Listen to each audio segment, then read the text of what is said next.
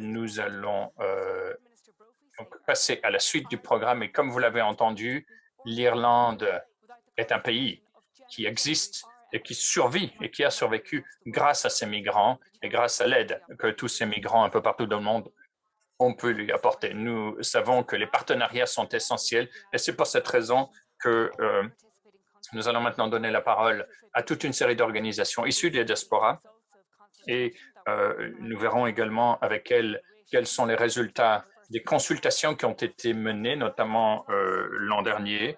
je suis donc très heureuse de pouvoir vous présenter Laura de la Fuente qui va donc modérer cette session, expatriée elle-même elle euh, est active depuis 2015 euh, auprès d'un réseau euh, de migrants et membres de la diaspora.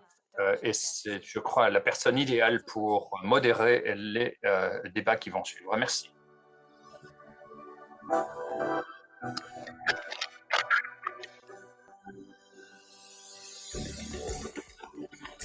Thank you, Deborah. Um, it's an honor to Merci, c'est un honneur d'être là. Merci à l'Irlande et son gouvernement pour cette opportunité. Ministre, euh, chers invités, vous êtes euh, bienvenus. Aujourd'hui, nous allons parler de la connexion avec la diaspora, partenaire pour le développement, et cette session va nous donner l'opportunité et euh, à la délégation des, des participants d'entendre directement les organisations de la diaspora, de voir leur vision sur la manière dont ils peuvent euh, contribuer à atteindre les ODD par le biais de la présentation des résultats des consultations organisées par la Confédération mondiale de la diaspora pendant la première semaine mondiale de la diaspora l'année dernière, euh, ainsi que d'autres euh, interventions. notre premier orateur est Peter Koch, qui est le directeur de la Confédération de la diaspora. Euh, et qui est une organisation de la société civile qui aide et coordonne les organisations de la diaspora. Il est aussi le directeur de la Fédération des Chinois, du Royaume-Uni des professionnels chinois, en collaboration avec l'université en Chine et membre d'un groupe euh, euh, conseil euh, dans la collaboration entre l'Écosse et la, Chine. Il a déjà contribué à l'association au directeur de l'éducation et l'entrepreneuriat, contribué à différentes organisations de développement au Cameroun. Il est ancien membre de l'association amicale de la euh, province du Jiangsu pour le retour des étudiants et en collaboration avec la Centre culturel au euh, Royaume-Uni. Il a reçu le prix Alumni euh, de la ville de Glasgow. Il a été nommé pour différents fonds de charité euh, il est là pour parler des opportunités euh, données à l'organisation Diaspora euh, et nous donner le rendu de ce qui avait été dit lors de la semaine de la diaspora l'année dernière. Peter, vous avez la parole.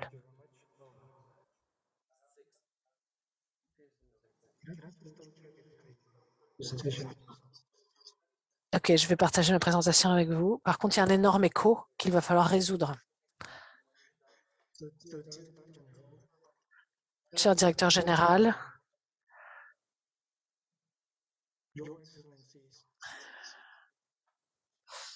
Excellences, Mesdames et Messieurs, c'est un honneur pour moi de présenter aujourd'hui, et comme Laura l'a dit, le travail de la Confédération euh, des organisations euh, de la diaspora. désolé, c'est impossible de traduire.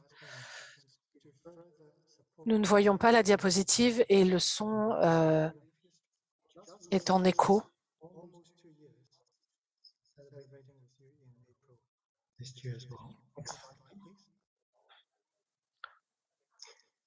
Our vision already explained the umbrella-led and diaspora-led civil society to unify, support, develop, and promote diaspora organizations where they can and realize their visions in order to achieve peace, unity, and social and economic role.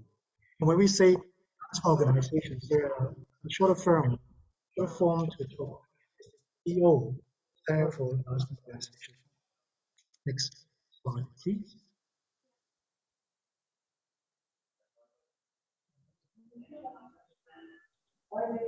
Okay.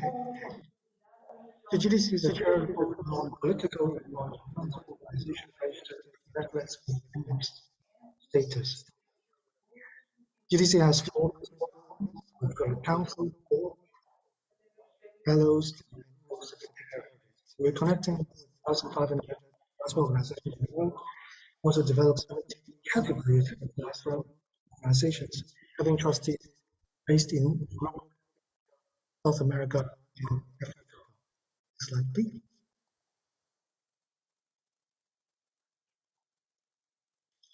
Great. So we GDC has scope and membership structure. At the very top of the fellow, GDC 121 at the same time members and regular members up the GDC system so that we can continue to recognize through this uh, contribution to wealth. At the same time, also have registration. And although we don't work very closely with them, um, but they are still associated to us. In order for us to become with GDC, they didn't have a network, obviously. They also need to have registration in the country of occupation and private law.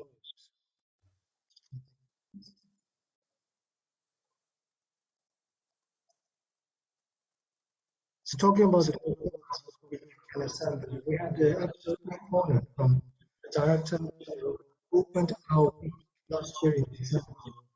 The week with the purpose of listening and consulting organizations across the world, their work towards sustainable development goals, as well as GCM Objective 19.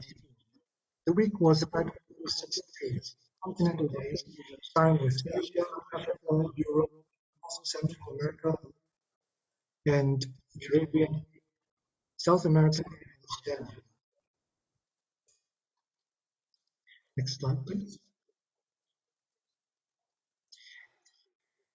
The global week was closed with the honor from Ms. Daniels, the Deputy Director General, who came to meet us.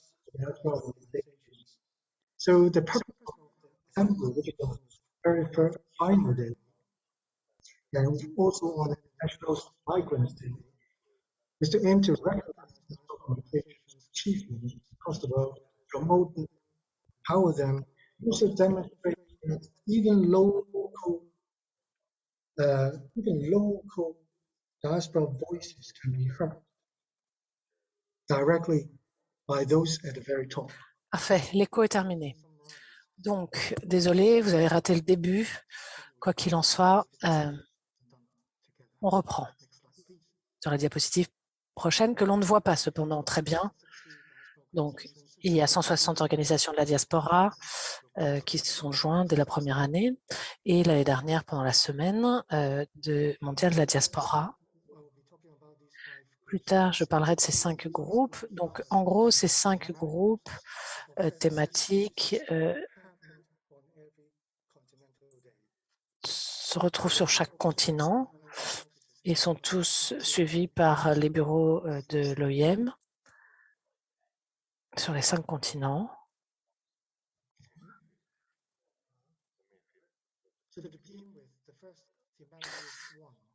Donc, le groupe thématique 1 reprend les ODD 1, 2, 3 et 6. Pas de pauvreté, pas de famine, bien-être, santé, eau propre. Donc, euh, ici, on pense qu'il est euh, de mettre en place des relations avec euh, les euh, parties prenantes pour euh, euh, l'eau euh, potable. En Europe, euh, ils ont mentionné qu'il y a un sujet, euh, notamment avec les pays d'origine, pour euh, garantir l'eau potable au niveau des communautés locales des pays d'origine. Donc, il faut mettre en place des pratiques d'assainissement saines. En outre, différents projets ont été mis en place en Europe pour faire face areas euh, à la problématique liée à l'accès à l'eau dans des secteurs qui euh, dépendent notamment de l'agriculture pour euh, la survie. Donc, euh, les projets reçoivent des fonds et en Amérique euh, du Sud, nous sommes euh, actifs dans des euh, collectes de fonds pour mettre en place des réservoirs, notamment au Venezuela, où il y a euh, un accès euh, compliqué à l'eau. On met aussi en place euh, des installations de panneaux pour le traitement des eaux au Venezuela et ils envisagent même d'exporter l'eau du pays. En outre, il a été dit aussi que des projets de gouvernement étaient faits pour garantir l'eau propre dans les communautés rurales au Chili. Pour ce qui est de la famine et du bien-être, plusieurs organisations en Europe ont dit qu'elles ont soutenu les victimes de catastrophes naturelles pour les aider face à la famine. Donc, euh, par le biais de connexions avec plusieurs parties prenantes et ce à tous les niveaux. Par exemple, euh, levée de fonds pour euh, réunir les ressources, ce qui a été repris par des ONG d'Amérique latine euh, pour réduire la pauvreté. Il s'agissait ici de donner aux, migrants les outils pour leur permettre de survivre, un soutien financier pour trouver un emploi et les aider à travailler légalement, qui est devenu une pratique commune pour les organisations de la diaspora sur plusieurs continents. Dans la zone Amérique centrale euh, et Caraïbes, euh, on voit que l'aide financière, euh, la diaspora aide à développer des projets dans les pays locaux. Et ces ressources néanmoins sont limitées, mais on peut aussi ajouter du temps, des finances, donc des ressources humaines et des compétences.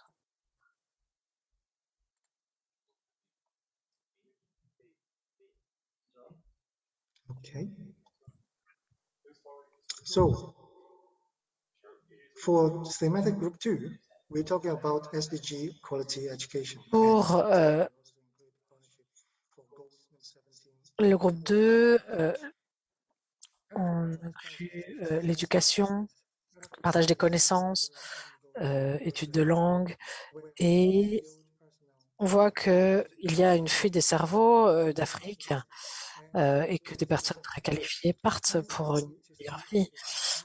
Et donc, il est important de considérer l'éducation au niveau local afin que les personnes ressentent le besoin de revenir dans leur pays d'origine. Les ONG en Europe ont partagé que euh, les écoles de langue euh, ont vu la visite de euh, descendants, de migrants, et que ça a enrichi leur qualité de vie lorsqu'ils ont mis en place des activités à long terme. Au niveau de l'Amérique centrale et Caraïbes, on a vu qu'il y avait un besoin d'avoir plus de ressources qui soient canalisées pour améliorer l'éducation euh, au niveau de l'Australie et l'Océanie. Euh, on dit qu'on peut utiliser euh, l'utilisation des technologies pour former les migrants pour des emplois où la barrière de la langue et la barrière éducative jusqu'à présent ne leur permettaient pas de se déployer.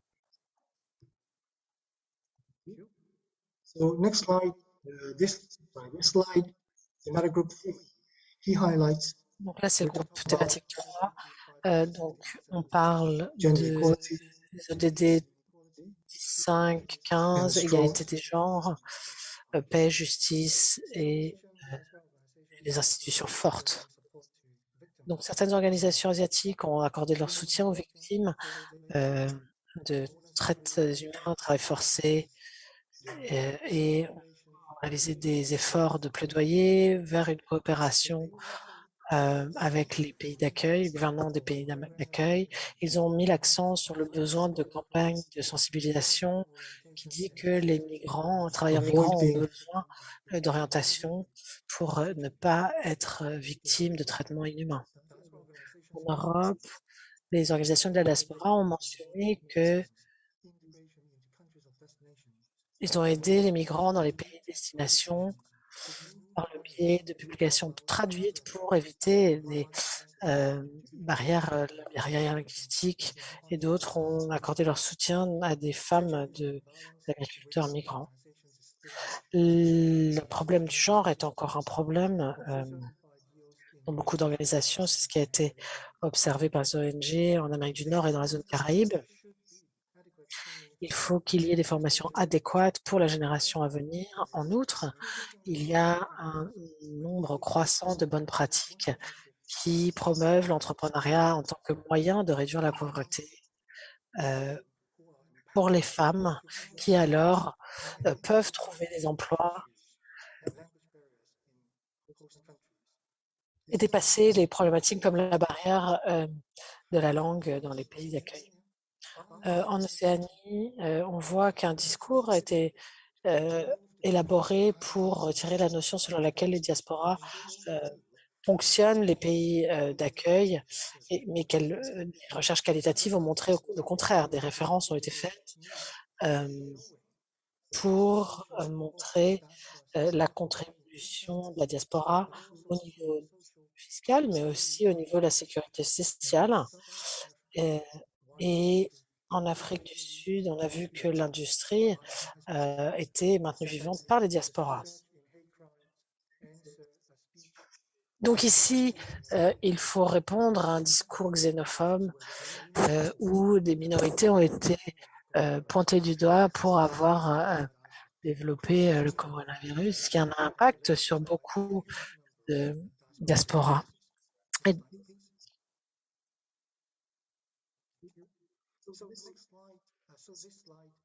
Donc ici, on parle du groupe thématique 4.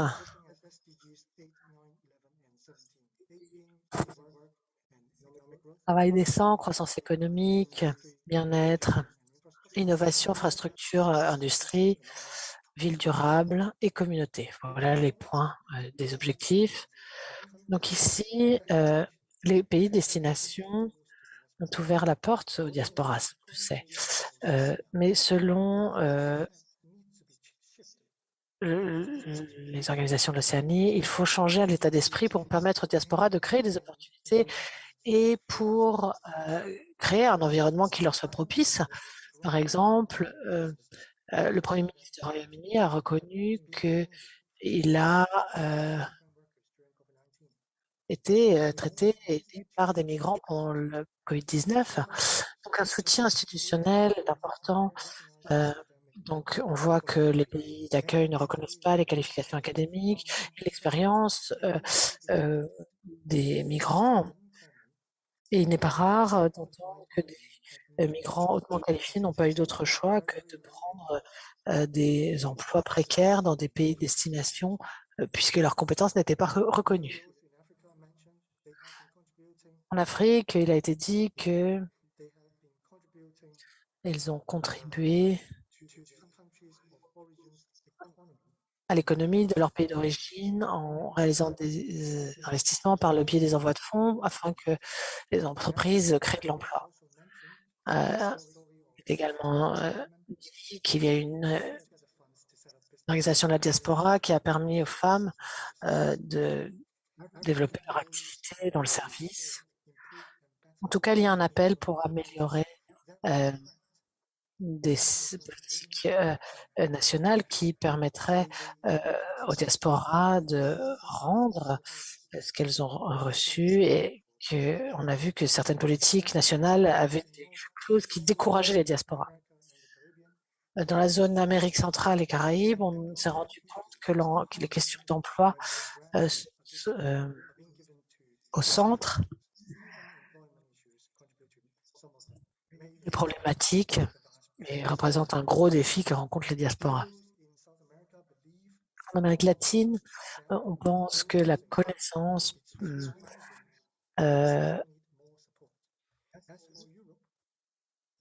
des migrants doit être encouragée en Europe. On voit que le niveau des compétences dépend des pays. Donc, il s'agit de collaborer un peu plus. Au niveau de l'Asie, les organisations de la diaspora pensent que euh, les personnes euh, de la diaspora ont contribué financièrement au pays d'origine et que cela a permis euh, de développer l'économie. Et donc, il est important d'avoir des efforts entre les différentes parties prenantes pour développer des, des infrastructures, des politiques au niveau du développement capital humain et social du financement pour proposer des solutions en temps réel aux défis rencontrés par la diaspora. Mais pour ce fait, euh, bah, on voit que le Covid-19 a eu un impact très négatif sur les personnes, personnes qualifiées notamment. 5, ce qui est le dernier groupe. Donc, objectif 7, 11, 13, 14 et 15 énergie euh, disponible et propre, consommation responsable, production responsable, changement climatique, vie euh, sur terre et sur mer.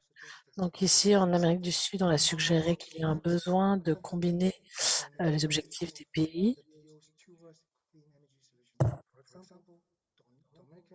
Par exemple, des migrants jamaïcains au Chili ont importé euh, leur connaissance de recyclage des panneaux solaires.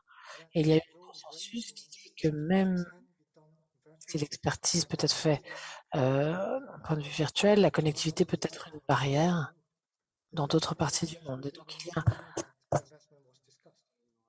besoin de parler d'investissement. Euh, il faut que les organisations de la diaspora euh, deviennent des avocats du changement climatique et qu'elles partagent l'information au sein de leur communauté. Ça a été soutenu également par des organisations en Europe qui dit que la question du changement climatique doit être soutenue pour euh, les défis mondiaux et que les diasporas euh, doivent partager l'exemple de ce qu'elles ont connu dans leur pays d'origine.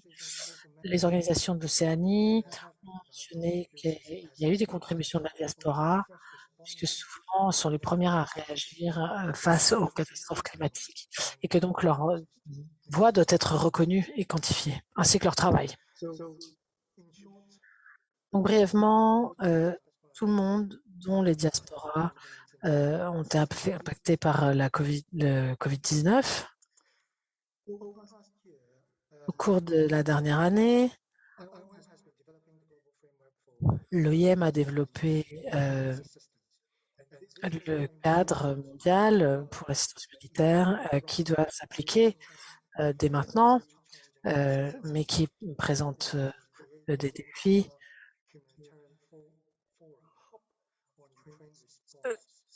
Nous avons néanmoins créé ce pôle, un pôle de réponse de la diaspora face à la guerre en Irak, en Ukraine, pardon. Et un collègue en parlera plus tard. Quoi qu'il en soit, au niveau mondial, euh, il faut voir comment nous pouvons euh, aider la diaspora ukrainienne. Désolée de vous interrompre, mais nous avons plus de temps. Est-ce que vous pourriez peut-être euh, arriver à la conclusion, s'il vous plaît? Oui. Donc, conclusion, slide 20.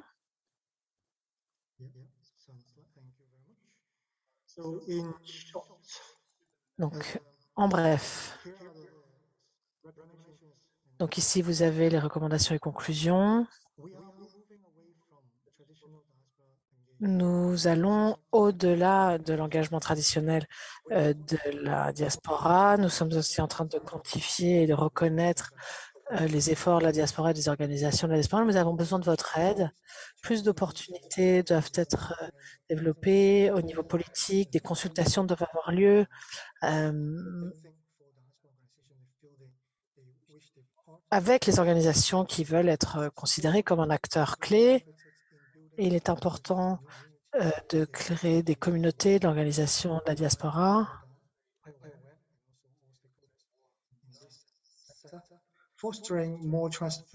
pour encourager plus de confiance, développement de capacité. Euh, c'est quelque chose que nous espérons euh, voir se développer. Et enfin, il s'agit de promouvoir la transparence pour euh, répondre et mm, fournir des ressources pour répondre aux besoins des diasporas. Merci pour votre attention et vos contributions. Et c'est un plaisir d'envisager de travailler avec vous au niveau international. Et nous vous souhaitons euh, une réunion euh, euh, couronnée de succès ainsi que les sept années qui vont suivre. Merci. Merci, Peter. Orateur suivant est Irana Rajo Harrison, qui est la directrice exécutive de l'ADEPT et qui a joint l'organisation en juillet 2019, qui a un double master en économie et développement, qui a travaillé à différentes étapes du cycle du projet euh, en Afrique et en Asie du Sud-Est.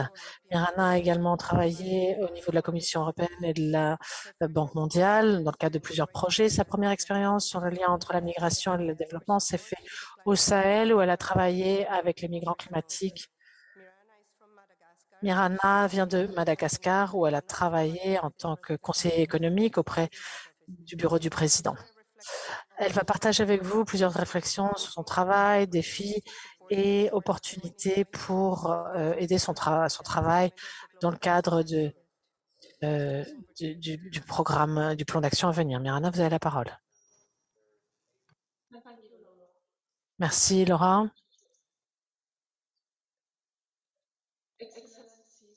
Excellences, Mesdames et Messieurs, merci pour cette opportunité de vous présenter euh, la plateforme de développement, l'ADEPT, qui reprend plusieurs organisations de la diaspora africaine. Et nous étudions euh, notre impact en Europe et en Afrique. Euh, notre portefeuille de services euh, disponible pour toutes les organisations de la diaspora africaine basées en Europe inclut euh, politique, développement de capacité, plaidoyer et réseautage, entre autres. En outre, nous avons des outils de dialogue. Le premier est le dialogue du développement de la diaspora, qui reprend plusieurs acteurs.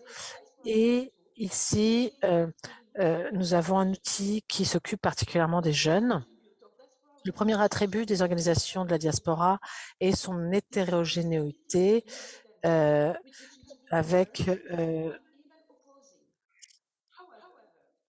des objectifs différents. Euh, quoi qu'il en soit, il y a quand même des similarités au niveau d'une absence de staff permanent et constitue une première catégorie d'organisation, celle des jeunes, qui sont généralement très spécialisés et qui organisent des événements sociaux. Euh, mais on voit que malheureusement, ils ne disposent pas toujours euh, des ressources ni de l'information nécessaire. Notre défi est de les professionnaliser, de leur aider à être, leur permettre d'être plus durables, non seulement au niveau des ressources humaines, mais aussi au niveau du développement des capacités. C'est un prérequis pour aller vers la deuxième catégorie. La deuxième catégorie des organisations de la diaspora sont les moyennes, c'est-à-dire qu'ils ont euh, quelques business models permanents, euh, euh, un personnel permanent et s'appuient sur plusieurs dizaines d'années d'expérience et disposent d'un système de développement des capacités en interne, mais quand même des ressources humaines assez limitées. En outre, ils peuvent entrer en réseau avec des pour pouvoir euh, prendre les uns des autres, puis mettre en place des consortiums pour euh, mutualiser les propositions. En outre, nous aidons ici la connexion avec des agences de développement, notamment sur le terrain. Et l'objectif est de trouver finalement de finances, financières pour les soutenir dans le développement de projets. C'est le cas dans plusieurs pays, Allemagne, Sénégal. Quoi qu'il en soit, il est important de soutenir les organisations de la diaspora dans les pays qui n'ont pas de besoins historiques. Il s'agit de formuler une croissance à long terme pour arriver dans la troisième catégorie. Donc, catégorie. Donc ici, on a des organisations de la diaspora qui ont beaucoup d'expérience. Il y a plus de cinq personnes qui travaillent. Ils peuvent avoir un bureau de représentation en Europe et en Afrique. Ils ont un business model amélioré et une expertise qui leur permet de rentrer en contact et de, en partenariat avec des ONG internationales pour mener à bien des projets en Afrique, par exemple. Leur attente est que nous les aidions à organiser des événements et des activités de plaidoyer et une assistance pour leur communication. Ils peuvent aussi avoir besoin de certains financements pour quelques activités. Ces trois catégories euh, euh, partagent euh, la même motivation, efficacité, agilité. et ici, il s'agit aussi de transmettre du national au local et la durabilité de leurs résultats et de garantir que le partenariat avec les autorités locales et la société civile puisse permettre une approche du bas vers le haut.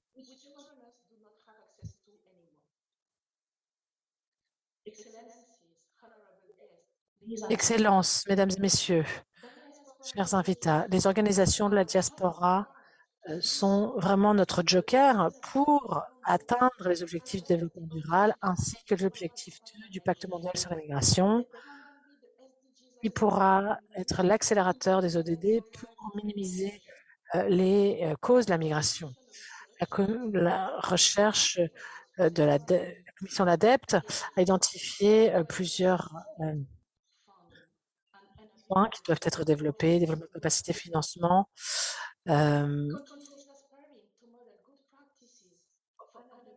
utiliser les bonnes pratiques pour les transférer d'un pays à un autre, reconnaître les organisations de la diaspora en tant qu'acteurs de développement et les intégrer au niveau des programmes de coopération et développement, les inclure dans nos mécanismes consultatifs, euh, développer des mécanismes de financement en fonction de leurs besoins et leurs caractéristiques au niveau national, au niveau des plateformes et mettre en place des partenariats avec des organisations euh, qui les soutiendraient.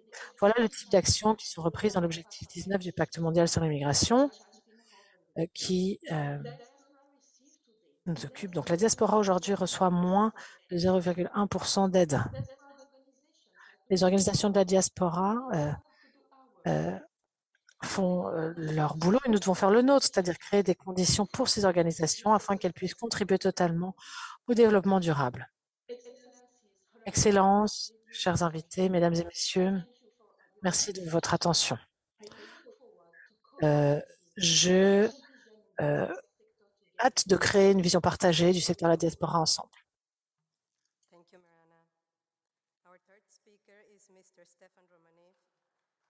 je vais donner la parole à notre troisième orateur, M. Stéphane Romanet, qui est directeur exécutif euh, d'une organisation australienne et qui euh, est actif dans l'État euh, de Victoria. Il est enseignant de formation et il a travaillé dans toute une série d'écoles et d'environnements liés au secteur de l'éducation. Il est le premier vice-président également du premier congrès mondial ukrainien. Il est également membre du comité pour la euh, reconnaissance euh, du génocide ukrainien. Il est aujourd'hui euh, président de plusieurs comités qui intègrent des Australiens et des Ukrainiens et il a reçu l'Ordre du mérite australien pour sa contribution à l'éducation. Il a reçu également toute une série d'autres médailles et notamment pour l'aide qu'il a pu assister, apporter pardon, aux relations internationales au niveau de l'Australie et de l'Ukraine. À vous la parole. Merci beaucoup. Au nom du Congrès mondial ukrainien, je vous remercie de m'inviter, de m'avoir invité à participer. Évidemment, euh, les temps sont très tristes aujourd'hui, euh, étant donné donc euh, le génocide dont M. Poutine se rend coupable, ainsi que la, la, Fédération russe se rend coupable en Ukraine. Alors, je le signale parce que le Congrès mondial ukrainien joue un rôle euh, essentiel, je crois, dans l'appui à apporter à l'Ukraine. Le Congrès mondial ukrainien euh, est un acteur essentiel, je crois, de la mise en place euh, de stratégies dont nous espérons qu'elles pourront aider l'Ukraine. voilà, je voulais clarifier cela.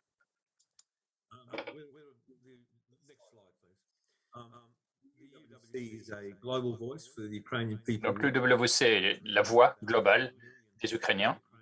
Nous représentons environ 20 euh, millions d'Ukrainiens de la diaspora, avec euh, une présence dans environ 60 pays.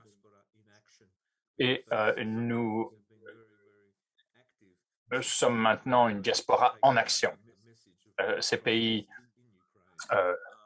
diffuse des informations sur les atrocités qui sont commises euh, en Ukraine. Nous sommes également actifs euh, au niveau euh, du Conseil social de l'ONU et nous sommes également actifs dans toute une série d'institutions européennes. Nous avons également mis en place un programme qui, nous pensons, a un, véritable impact avec toute une série d'acteurs, entre guillemets, euh, de, ce programme d'action, qui sont soit des bénévoles, soit euh, euh, des volontaires et toute une série d'autres personnes qui donc interviennent pour nous permettre de réaliser notre programme d'action. Notre programme, il y en a plusieurs, mais nous avons plusieurs programmes différents. Nous avons des conseils qui ont été créés. et ces conseils travaillent au niveau des différentes communautés internationales membres de la communauté internationale. Nous avons également des leaders importants qui travaillent avec nous.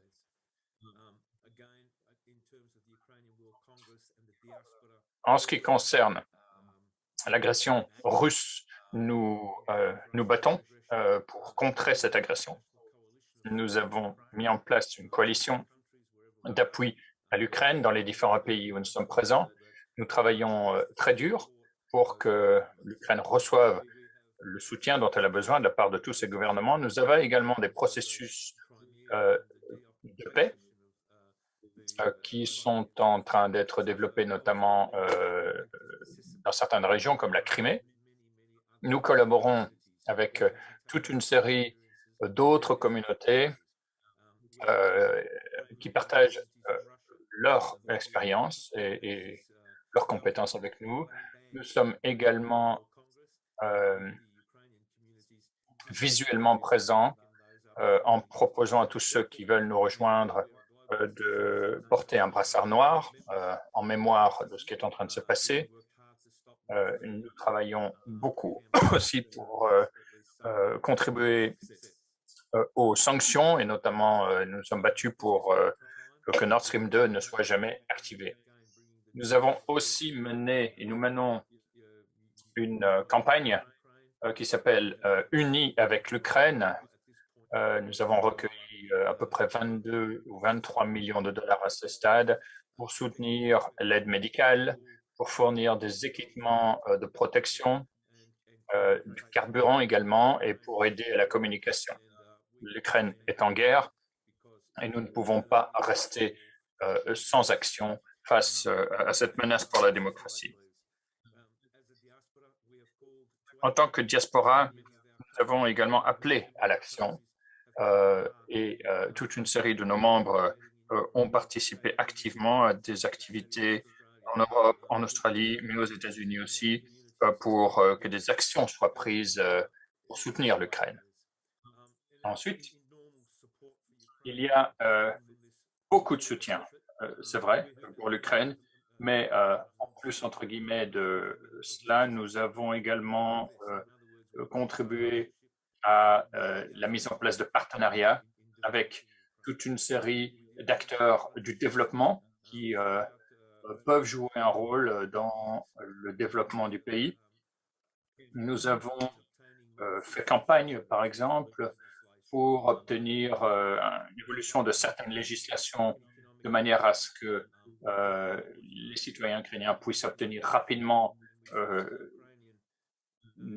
la citoyenneté d'autres pays, sans perdre pour autant la leur. nous travaillons sur le développement économique. Nous travaillons sur également toute une série de partenariats extrêmement importants qui ont été mis en place au niveau international. Vous les voyez à l'écran. Quelqu'un l'a dit tout à l'heure. Hein, les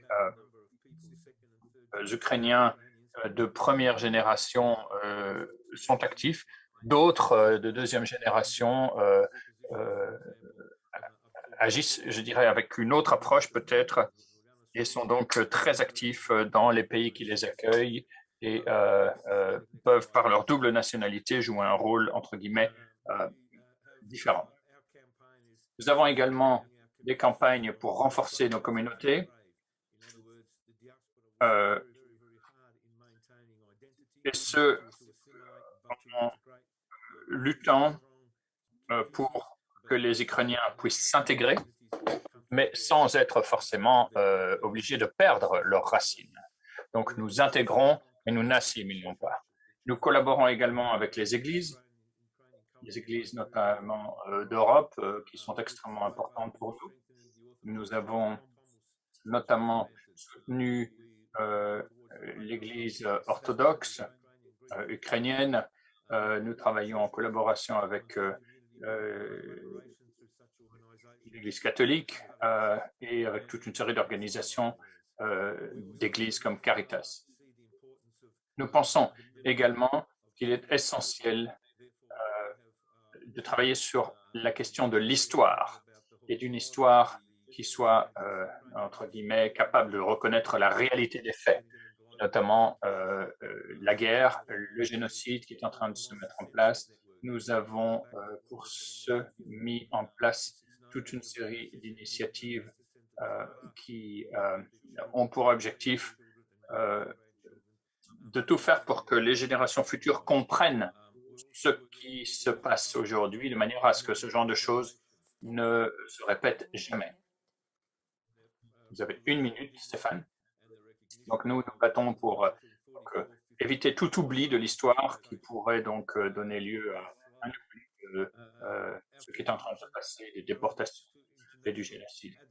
Enfin, nous avons un travail de plaidoyer avec beaucoup de collaboration évidemment avec l'Ukraine directement. Nous avons des programmes de jeunes, nous avons des programmes de développement communautaire également. Merci beaucoup de votre attention. You so much, Stefan. We have heard from three very important diaspora organizations and leaders what are their key challenges and the best. Nous avons entendu trois orateurs issus des diasporas insister sur le rôle des diasporas sur leur contribution à la réalisation des objectifs de développement durable. Certaines recommandations ont été faites à l'instant par les trois présentateurs et je crois qu'il y a là des leçons intéressantes pour nous et pour le travail, entre guillemets, de plaidoyer international. J'ai entendu parler du travail avec les jeunes, avec les femmes, de l'utilisation des outils numériques, de la quantification nécessaire des diasporas et du développement également de politiques intégrées. En tant que présidente ici depuis 25 ans en Irlande, moi-même, je suis heureuse d'entendre l'accent qui est mis sur les conséquences que ce sommet pourra avoir et la manière dont l'intégration va pouvoir être promue et les liens